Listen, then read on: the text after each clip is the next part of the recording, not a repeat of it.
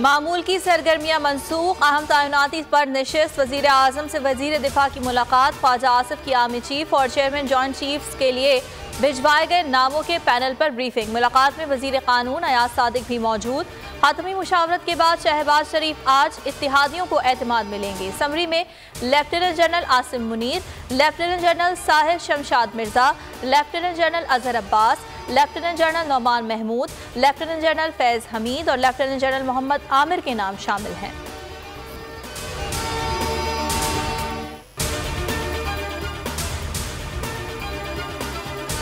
इमरान खान आज जमान पार्क लाहौर में पार्टी रहनुमाओं से मुलाकात करेंगे। हकीकी आज़ादी मार्च के हवाले से मुशावरत की जाएगी। कप्तान 26 नवंबर को पिंडी पहुँचेंगे। मुसलत हुकूमत को आखिरी बार ललकार देंगे। मुल्क भर से काफले 25 नवंबर से फैज़ाबाद पहुँचना शुरू हो जाएँगे। पेशावर के ताजर भी पुरजोश। डोर टू डोर मुहिम जारी।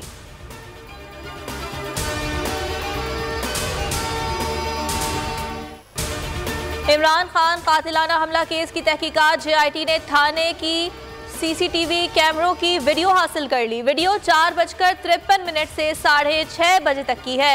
मुलजिम नवीद ने चार बजकर सात मिनट पर फायरिंग की। चार बजकर चौदह मिनट पर गिरफ़्तार किया गया। साढ़े छः बजे सीटीडी के हवाले किया गया। शहबाज हुकूमत की इतिहादियों पर नवाजिशात। मौलाना फजल रहमान के समदी हाजी गुलाम अली गवर्नर खैबर खान नामजद समरी सदर को इरसाल।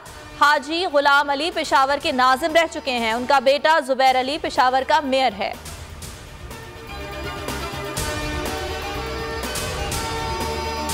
हम अशर शरीफ शहीद को बिल्कुल नहीं भूलेंगे इन और ना बोल भूलेगा। हम ये चाहते हैं कि ये यादगार जो है, ये ये है, इनकी वालदा को यहाँ बुलाएँगे इन बोल वालों का बड़ा गहरा रिश्ता था, उनसे है। बोल न्यूज़ के को चेयरमैन शुएब शेख का अरशद शरीफ की यादगार का दौरा, कहा, शहीद सहाफ़ी को कभी नहीं भूलेंगे। बोल वालों का उनसे गहरा रिश्ता था, है, और रहेगा। वालदा यादगार का इफ्तिताह करेंगी, शहीद अरशद शरीफ का खून रंग लाएगा।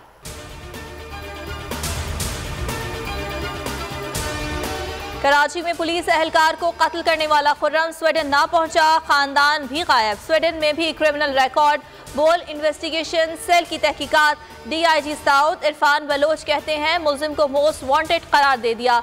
गिरफ्तारी के लिए इंटरपोल से मदद लेने का फैसला।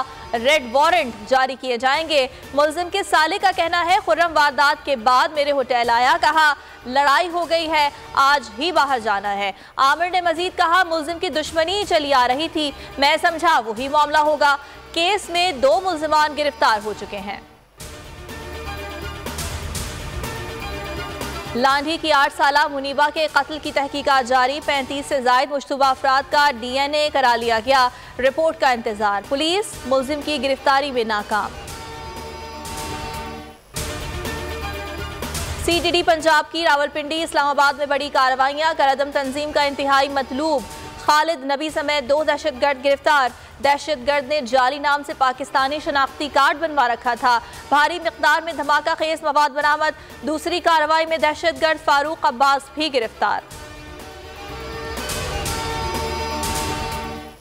बाबर आज़म वनडे रैंकिंग में पहले टी ट्वेंटी में चौथे नंबर पर। आईसीसी रैंकिंग के मुताबिक इमामुल हक बैटिंग रैंकिंग में दूसरे नंबर पर बराजमान बॉलर्स में न्यूजीलैंड के ट्रेंड बोल्ट सर फहरिस्त।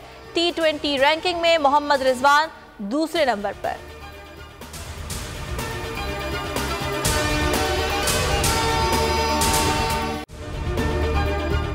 अगर आपको ये वीडियो पसंद आई तो हमारे चैनल को सब्सक्राइब करें और बेल आइकन पर क्लिक करें। बोल, जो कि हकीकी सहाफत के सफ़र पे गामजन है। बोल ने बता दिया है कि किसी किस्म का कोई दबाव बर्दाश्त नहीं किया जाएगा।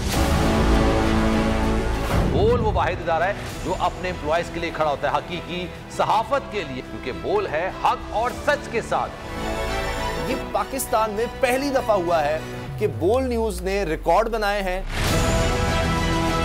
आज के दौर में डिजिटल मीडिया के दौर में आप किस किस साइट को ब्लॉक करेंगे? इनका बस नहीं चल रहा कि हर उस आवाज़ को बंद कर दें जो सोच थोड़ी सी भी इख्तलाफ की गुंजाइश पैदा करने की कोशिश करे।